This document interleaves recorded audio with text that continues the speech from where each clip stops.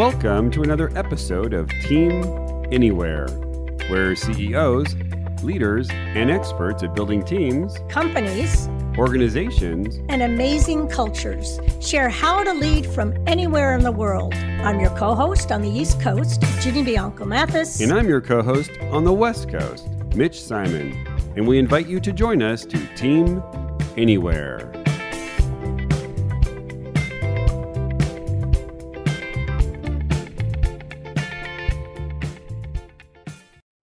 Today on Team Anywhere, we speak to Tara Rethore, CEO and Strategic Advisor at Strategy for Real.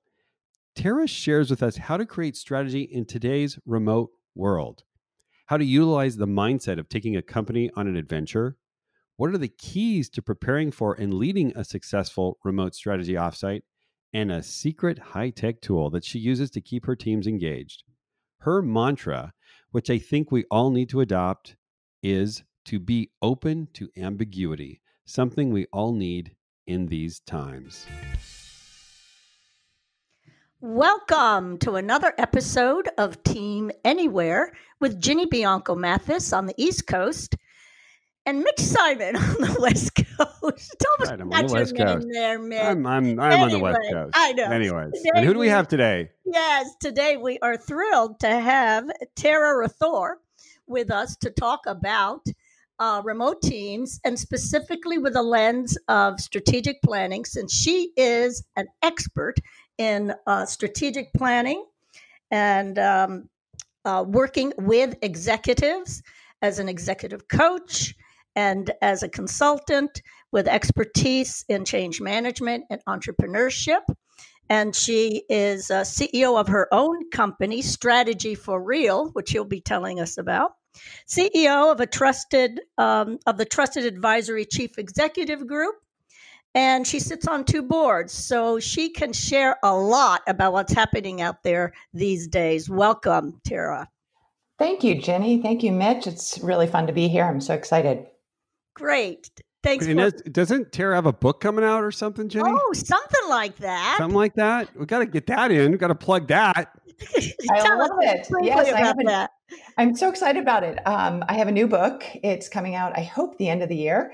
Uh, the name of it is Charting the Course. It's CEO Tools to Align Strategy and Operations.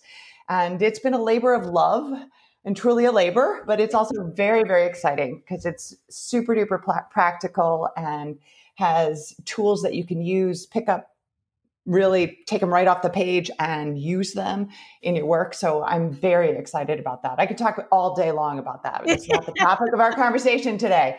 Oh, that's wonderful. No, I'm excited about seeing it. Um, so thanks for sharing that. And tell us a little about yourself and and and your journey and what brings you to strategy for real. Sounds good. Ginny, as you said, I'm, I'm CEO of Strategy for Real. I work with CEOs, executives, and board members to help them take strategy off the page and really put it into action.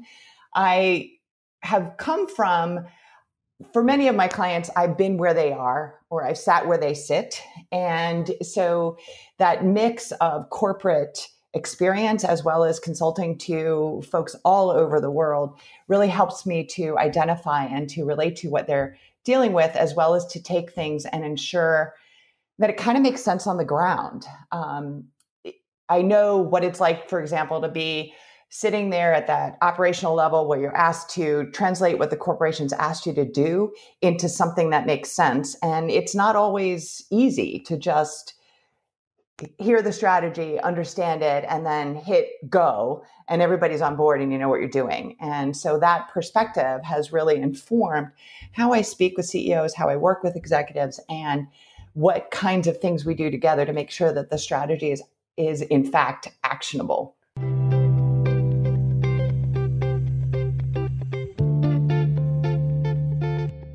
To take this brief interruption to thank our sponsors and then get back to our program. We'd like to thank Marymount University, Arlington, Virginia, School of Business and Technology, Innovative Solutions Upskilling for the What's Next economy at marymount.edu. Oyster Organizational Development, dedicated to higher performance, business success, and leveraging teams at oysterod.com. And WeJungo, a strategic people process consulting firm at we, com. So, Tara, I'm, I'm interested in how you are helping companies do strategy remotely these days.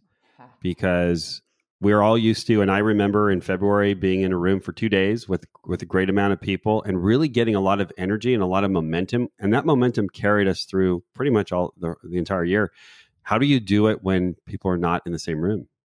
It's an excellent question and a huge challenge. To be quite frank, strategic thinking is one of the things that is very difficult in a virtual world. It benefits greatly from that energy, as you described, and that in person interaction. So, acknowledging that first off is really important because you can't simply take what you were going to do in the room and stick it on Zoom or Google Meets or um, any of the other teams or any of the other tools that we're using right now. It doesn't, it, it's not a just plug and play and make it happen. You won't achieve as easily what you get in the room. The second thing, so there's a little bit of more than that. Go, get over it, you know, let it go that you're not going to be able to do it the same way. Put it on the table. Yeah, kind of. Yeah. yeah. It's like, let's accept the fact that this is not going to be the same. So, what is it we're really trying to do? And then get creative.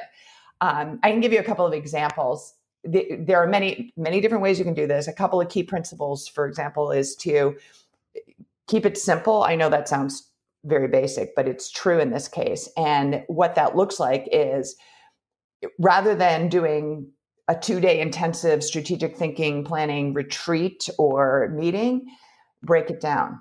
Um, those are exhausting even when you're in person. They're simultaneously energizing. When you try and do that on video the exhaustion typically outweighs the energy. Um, just think of having spent yourselves probably you know a long time, a half day or a full day on Zoom, even if they're not all the same topic. It's exhausting. Get to the end of the day, it's exhausting. So the first thing is to break it down into bite-sized chunks. The second thing is to really focus on the outcomes. Um, what is it you're trying to achieve? And then characterize the work. Which pieces of this strategic thinking and strategic planning most benefits from that interpersonal interaction. Because not everything you're doing in a strategic thinking strategic planning session has to be in person. It just makes sense if you're all meeting anyway why not do it in person right? Mm-hmm. so just as you might use breakout groups or smaller sessions in an in-person thing you can do those also virtually. However maybe you're not doing them all in the same day Mm-hmm. Um, or maybe you're not doing it with the same group of people. The other thing is to think through carefully, and, and I've been doing this with clients what's the work that you can do? How do you prepare in advance? Uh, mm. what can you be doing to seed the conversation in advance? Because when you come together, you want to be focusing not on sharing information, but on processing that information and defining clear outcomes. So, Ooh. vision, Yes, yeah. yes. So, what's the desired outcome and who's needed to assure that you have a chance at reaching that desired outcome? Right. And those are the people we put in the room. There's been a couple of different ways we've done that. I've seen um, in person meetings where it's been safer and people have come together for a smaller group of people have come together socially distanced wearing masks you know really observing all the safety protocols to ensure that they're doing the right things for their themselves and their people. And assuring that you've got at least on call the subject matter expert. Because you can't just pop down the hall to pick up Joe, Sam, or Sally, who happens to be really, really well, you know, knowledgeable about that thing that we just can't put our finger on, or mm-hmm, that mm-hmm. piece of the business that's really, you know, troubling us. So you need to have a few, you need to be mindful and be thinking ahead a little bit about who might be the subject matter experts that you need to have on hand. Um, and you may not want them in the room for the entire conversation. That may not be safe. Um, so that's one thing is you can do that and you can bring them folks in as needed. That's that's interesting. Yeah, I like that. Go ahead. It also it's also really nice for this for the client to have some folks who are comfortable and not comfortable being in the office and with other people for all kinds of reasons. Um, right. And it allows you to kind of bridge that.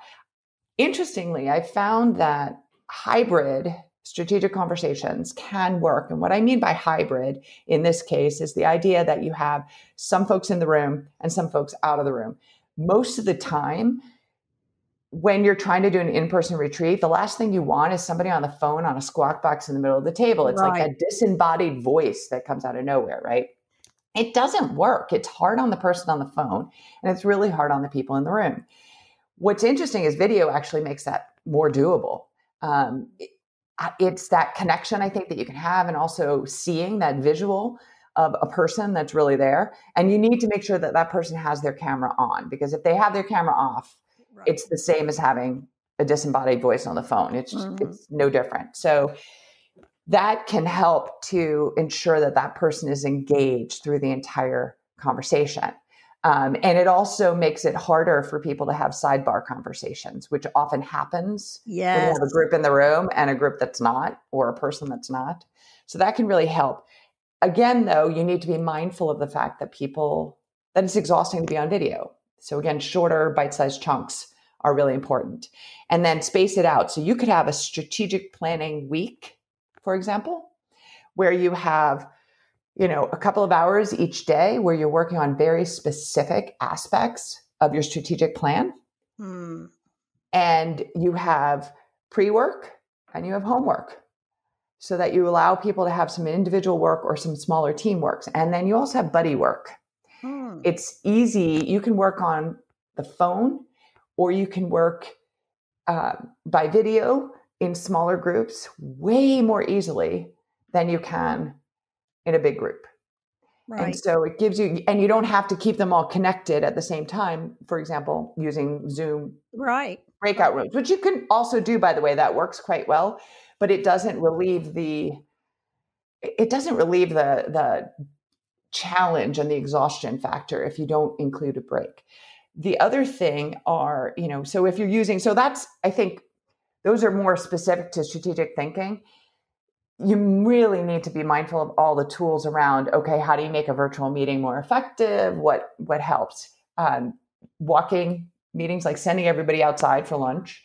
Um, making sure that you incorporate some teaming things. Uh, possibly, here's an idea. One of my clients did this for a, it wasn't a strategic planning meeting. It was one of their usual kind of all hands meeting. They they gathered pre-pandemic. They would gather monthly in their offices to share a lunch, and they celebrate success and they do all kinds of fun things. One of the things they did after the pandemic, when they're still all at home, is the CEO sent lunch mm-hmm. to every associate. He just had it delivered to their house. Yep. Another CEO, Yep. yep. And so everybody had lunch together. Um, and they could, you know, talk about what they were eating, and yet, right? You know, like as you do, yeah. Did you have the Did you have the meatballs? The meatballs are excellent, right? All those kinds of conversations they could still have, right? Right? But they weren't in the room. And and let's face it, most of the time you're not reaching across the table to put your fork in somebody else's plate. So being yeah. able to talk about yeah. it through video is okay. It works. Right, right. right. Um eh, boy, you shared a lot of very interesting things and i'm sure that's the magic that you bring to the to the uh, sessions and hopefully it's in your book is something that you said about breaking it up into chunks. Now, that's an art. All right. That's an art and a science because for those of us that, all right, I'm going to have two days and I got to make this happen in two days, that's a different mindset. You're, you've sat back and you said, how can I chunk this and make each session, each chunk lead to something that combines then to a strategic plan using all these different efforts. Yeah, and so I'm, and I, gosh, that was the same question I was thinking, Jenny, is for Tara. Is it sounds like that in this uh, post COVID era, you're spending a lot of time just thinking about the mechanics of how a strategic planning process or a quarterly process or a monthly process will go. And I'm just wondering, how do you think about it? like, do you sit down a month ahead of time and go, hmm, let me think about this? And what are you thinking about, Tara? Honestly, Mitch, I I really am a strategic person because the first thing I think about is okay, what does success look like? What are we trying to achieve? So I start with the end. And then I think about who do I need to have in the conversation because that dictates some of the other pieces. And then I think about what are the key aspects of this that we really need to understand or resolve to be successful. And I think about what might get in the way. Mm. And those are the two things that help me. And sometimes it's a who, by the way, who might get in the way? The grand naysayers. You know, sometimes you really want those guys in the room, mm. right? Um, because they really challenge you to think about how you're presenting things, how you're talking about things, and whether or not it really makes sense. Um, I love to dream. I'm really good at dreaming. When you're taking strategy off the page and putting it into action, it's also got to really work. So the dream has to become reality, right? That's the core of what I'm trying to do. So I like having the people that are like, yeah, right, Tara, that's lovely. It would be awesome. And yet, because they help me think about, well, what what would it take? Right. And that's a question that I ask often. What would it take for you to say yes to this? What would it take for this to work? What would it take for mm. this strategic thinking exercise, adventure, to be successful for this group? And the answer is different every time. So you're right, Mitch. I spend a heck of a lot more time thinking up front. And yet at the same time, it's not different. All that said, this is not, yes, it is. Eh, thank you, Jenny. Magic. That would be awesome if I were truly that magical. Uh, it's not magic. It's it is very thoughtful. At the same time, for me, what can be very challenging is that I also really think on my feet a lot. And I take what's happening in the room. And that's why I think for a lot of people, brainstorming, strategic thinking, those are really hard to do virtually because it's harder to kind of read the room. It's just harder. And so when I'm doing this, you know, when I do it in person and I just, we just plow through, I always preface things with, okay, so I have an agenda and I think I know about how much time we're going to spend on each topic. The reality is it all moves. It never looks exactly like that. No worries we'll get to where we want to be by the time we're done, right? We'll get somewhere. We'll achieve our objectives. When you're thinking about it and you're chunking it up, mm-hmm. that may or may not be true because you have a finite amount of time in a very different way. So when I chunk it up, I also try to then order it in a way that lets me pivot or jump or switch or toggle between different things because sometimes the group's not ready to talk about something I think comes next.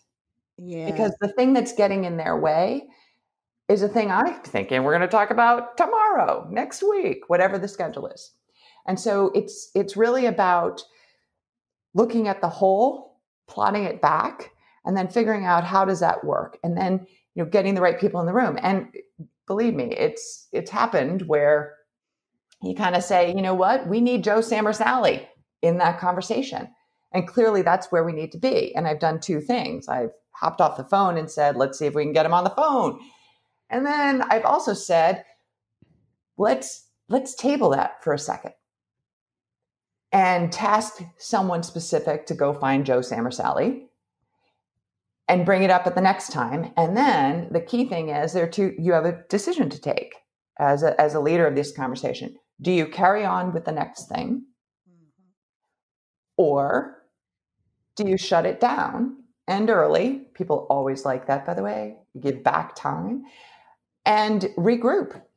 And you have to be willing to do that. And that's mm. that's the real challenge. And for some people doing it in person, especially if you've flown in for the event, no matter who you are, the person in the room, the facilitator, the leader, whoever, you want to make sure you're getting everything done. You still need to be able to kind of understand that you may have to regroup. Mm-hmm. Let me you ask you, are, um, Tara. Do you find? I know we're just like into this. Uh, this is something that I found, and I was just wondering. Uh, oh no, actually, here's my question. You said adventure. And I want to know, you know, this strategy thing or this adventure. What do you mean by adventure? Because I never, you know, most people think of strategy work is, are you kidding me? But you said adventure. So what did you mean by that? It's, I mean, aside from the fact that it's kind of my life's work, I love this Okay. stuff. It's Okay. fun. You know, it's great. The chat, I mean, if you walk in thinking this is going to be an adventure, think of your mindset. If you walk in going, oh God, we're doing the Mm. strategic planning and we're retreat. I mean, the word retreat Yes. I mean, retreat, really? I get there's another meeting, get away, blah, blah, blah, but retreat? No. It's so much more fun to go on an adventure. So if you switch it and think about it, hey, this is an adventure. And in this COVID world, in this virtual world, holy cow, it's a really interesting adventure. Not one a lot of us expected in quite That's right. way. And we can keep using that as an analogy, saying, remember when it hit and what you had to do. Um, and, and, and boy, I have all these ideas, and you probably already do it, Tara's on, on um using, beginning with that word adventure before you even start the strategy meeting. I know, and you know it's so funny, funny because all these kids shows, you know, their their Yes. tunes kind of pop in my head. I have kids, Yes. you know, and they're not even little anymore, but still, there's some from their childhood that just, you know, I still have the song in my head when I think of it. Yes. And yet, you think about what that song does for you. That little ditty, usually it's the opening line of them. I mean, they get all excited because we're going on a trip. Yes. You know? Yes. Woohoo! Well, you are so right. You're getting me excited. I know. I'm gonna you like okay, so Tara, I'm using that. Every, you know, the next Me too. strategy retreat for me is an adventure. Exactly. We're going on an adventure. I just think of Ah. Adventureland in Disneyland, which is close by but shut down. Yeah, yeah, yeah, but you whatever whatever your your version of adventure, whatever Adventure. your version of thing that really makes you excited. I mean, if you're working with a bicycle maker or with mm-hmm. REI, I mean, good lord, that's easy. When you're Yeah. working with, you know, oil companies, then what do you talk about, right? Right. Well, there is Talk a about oil. point. Everybody. Yeah, exactly. You know, what what are you going to do with that? How are you, how do you make that real for them by relating it to what they they think about? Mhm. I love Okay, your but- also um, your point about, and I can see how you're combining your executive coaching techniques, your facilitation techniques. I mean, you do need to be, uh, your game needs to be sharp, right? Because you're asking incredibly powerful questions. Well, where do you want to go? What does that look like? What is the, you know, um, just beautiful kinds of things. Um, you don't just say, oh i'm going to do strategic planning offline or online yeah that is that's marvelous The other the other challenge, Jenny and, and Mitch, you, that you may have figured out I, when I do a, any kind of in person thing, e- even if I'm in theory giving just a talk, I usually have flip charts around, right? And I have them all over the room, right? Right. Now there are some technology tools that you can use that sort of simulate the sticky note thing. virtual board Yeah, yeah. yeah, yeah. It honestly not the same.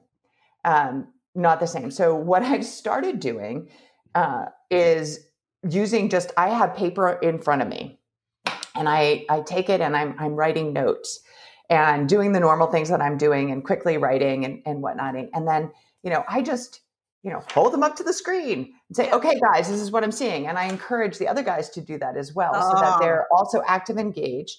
They get to drop their eyes from the screen. Uh, we don't blink as much when we're looking at the screens and you know that it's just really hard on your brain and it's exhausting on your eyes. So it helps them because it gives them a reason to look away. And interesting. so doing that is helpful.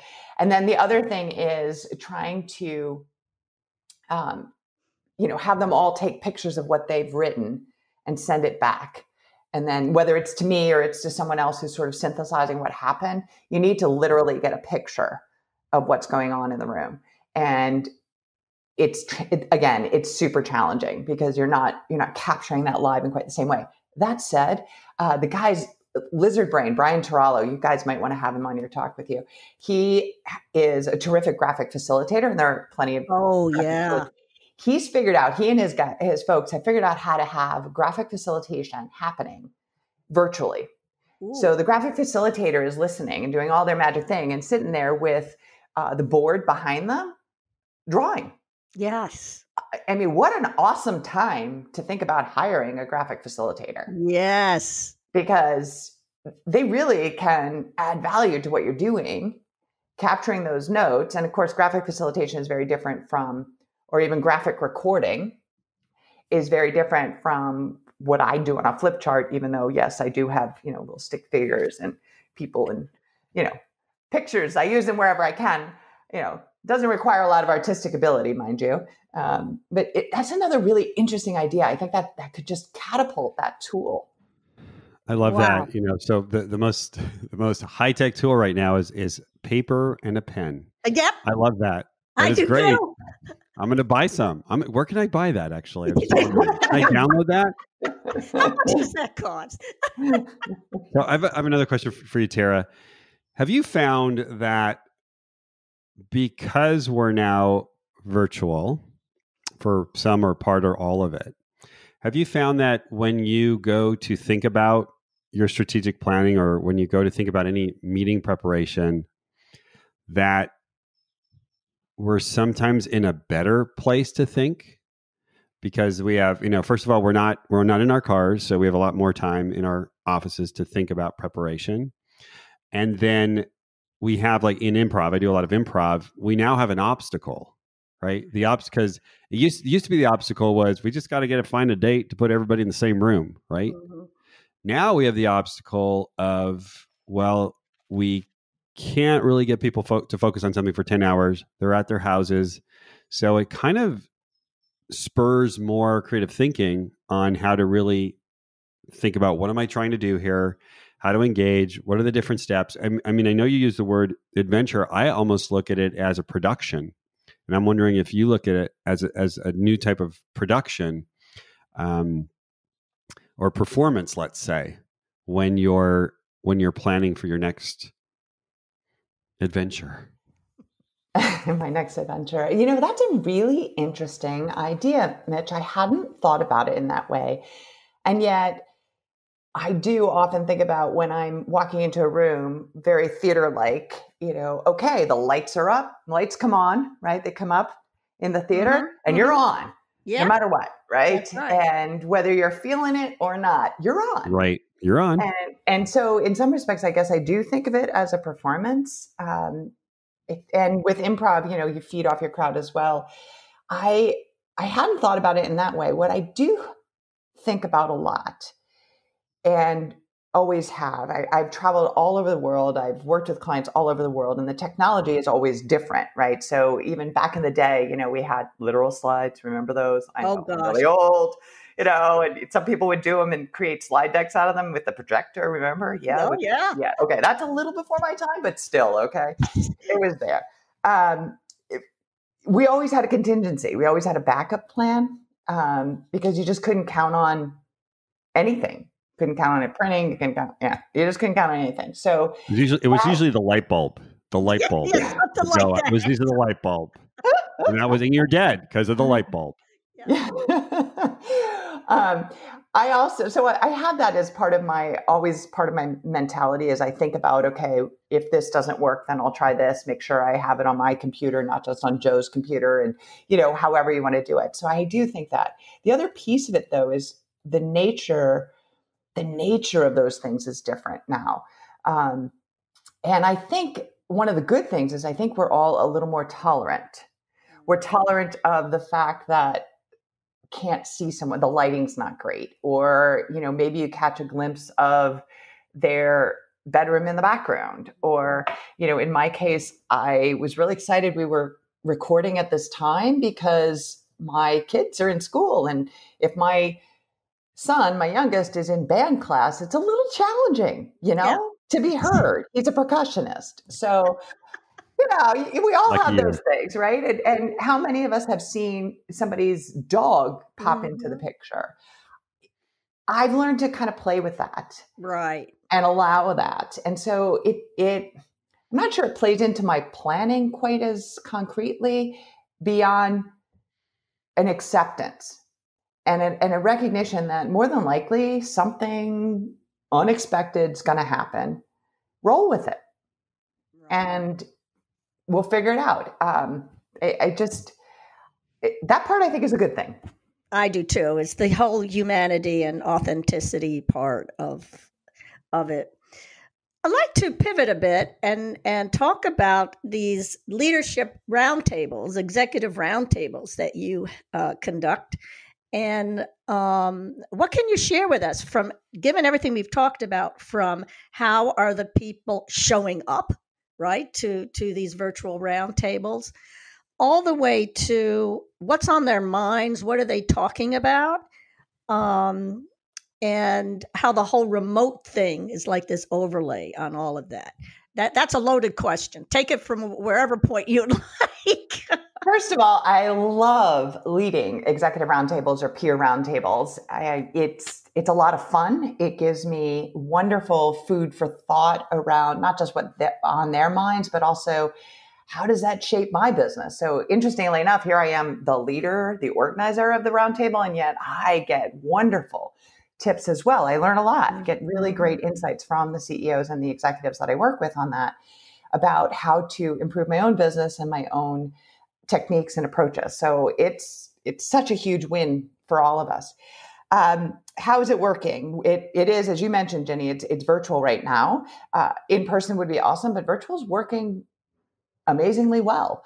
And I've structured them differently. So mine are short, kind of did that whole bite sized chunk kind of approach um, standing meeting sort of thing so that people have it on the calendar and, and they show up and they do show up. They make time because one of the things I've learned is that they really, really, really value not only their peer insights, but making the time to think mm. differently about their business. That's, you know, a huge value.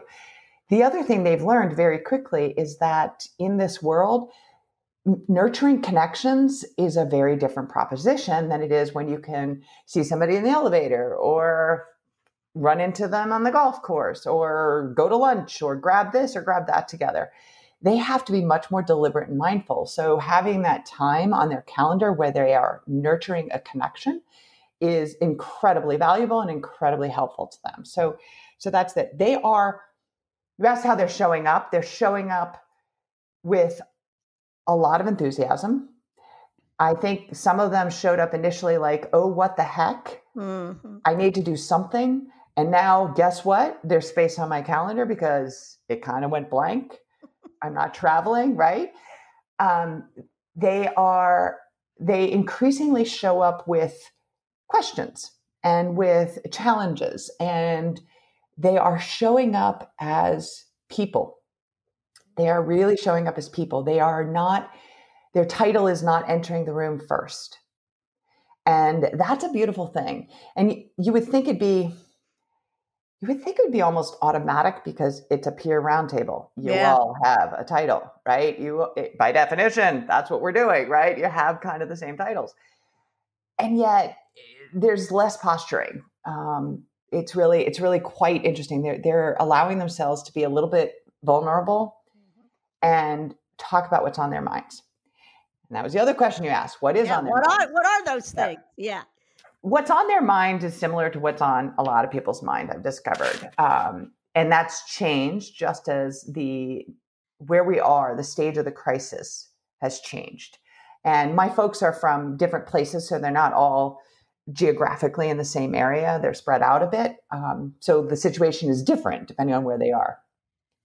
They in the early days of the pandemic, for example, it was very how do I get my people safe? You know, what are you doing to ensure this is happening? How are you getting um, materials and supplies quickly and effectively to your people? What uh, benefits are you switching? How are you making this happen? There was a lot of very tangible things happening. You know, like the questions they were asking it was much less strategic and in the sense of um, you know where are we headed? Big picture to the we need to serve our customers. We need to keep our people safe. How do we do both of those while everybody's at home and suddenly now being teachers and caregivers and employees and blah blah blah? Okay how do we do that? Um, and then it's become okay now how do i lead? I've gotten everybody home. I've gotten them with the tools that they need. Um, they're working. They're showing up. Now how do i lead? Okay now what do I expect from my team? How do I help my team lead better? How do I help yes. them do better? Okay, shoot, we're losing our connection. I haven't seen Joe, Sam, or Sally in you know weeks. How do I get connected? Okay, where you know how do I do that?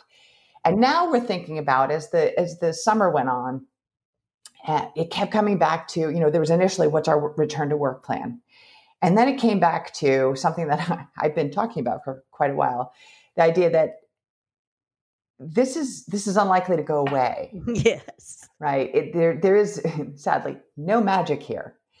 And now it's about okay, what one of the big questions that we've just been talking about was what are the things that most benefit from our being together? So there's there's joint work and then there's work that really benefits from being together in person. And we talked about earlier strategic thinking being one of those. It's not only strategic thinking and it's not only those kinds of things, but how do we make it possible to be together for those bits?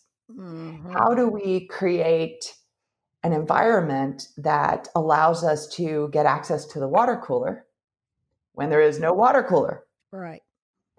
You know, so really starting to think through that. And in addition, they're talking about what are the good things? What have we learned? What have we learned about ourselves? What have we learned about our business? What have we learned about our culture that we want to preserve as we move forward?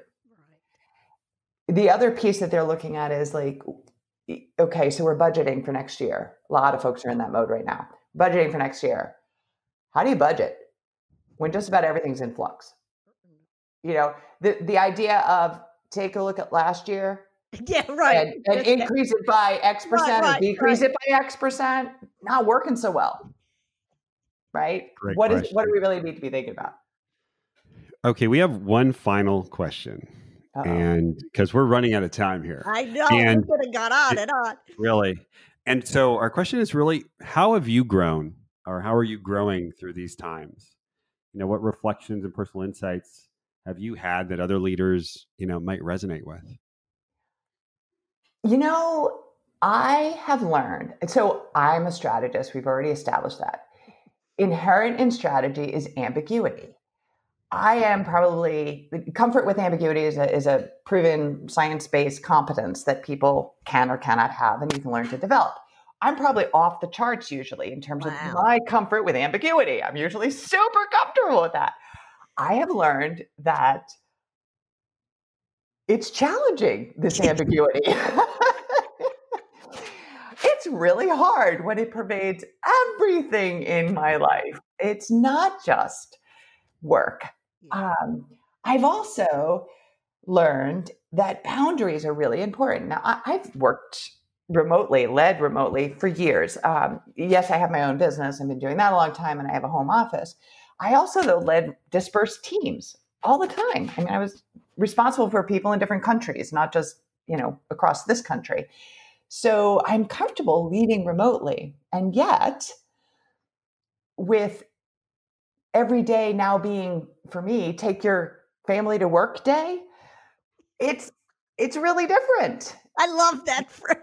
Yeah, take your family to work day. Uh, that's every day, um, and I I treat my office as a bunker, and I learned Ooh. that that's not healthy and it's not helpful. And so I've been learning how to restructure that. And, and I do that in part out of courtesy for the fact that there are, you know, multiple people in my house trying to study and work together. So I, I don't want to be in their space mm-hmm. either. You know, I want to be respectful of what they're doing.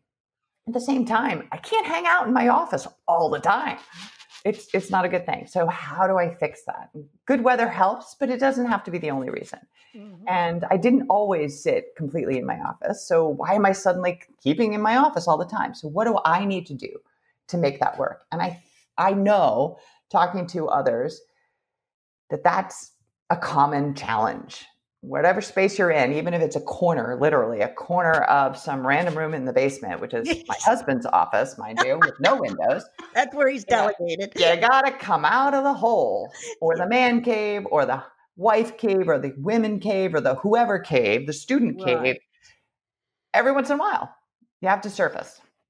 And something that Tara does is is um, what we did recently is we took a um, a walk, a masked walk with our coffees in hand, standing six feet apart, and we walked around this entire neighborhood and got tons of business done, and it was fabulous.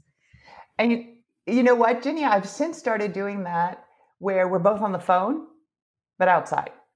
Ah, Right. That's a great idea. Yeah, it's and you, Mitch, on the West Coast, you have good weather much Every a much longer period than than we do.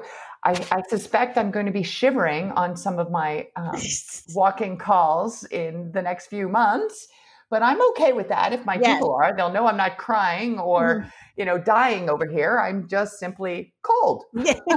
I'll walk faster. So tell us your so your book's coming out. You're saying when in in December? Or, Yeah, I think it's the end of the year. Worst case, early January. Some of it depends on the printing and when that happens, but it is charting the course, CEO tools to align strategy and operations. And you know, if people want to reach out to me, I'm happy to let them know when when it becomes available. I'm super excited about it. It's um, yeah, it, that yeah, that's another whole adventure. We could we could have a whole podcast on that one. Mitch. next time. And how will how could people reach you or find out more about the book? You can always find me on my website, www.strategyforreal.com. Um, you can use the number four, the let or the word for it works the same. And you're also welcome to just um, reach out on on LinkedIn. Okay, great. And that's Tara Rethore. Uh, Rethore. Did I get that right? You got it right. Okay, R E T H O R E. Great. Well, thank you so much. This has been so insightful because I know everyone is going through the process of how do I really plan for what's coming up in a world of complete ambiguity. Yeah, Wonderful. it is an adventure. Uh, it, let's go on the adventure. Thank you.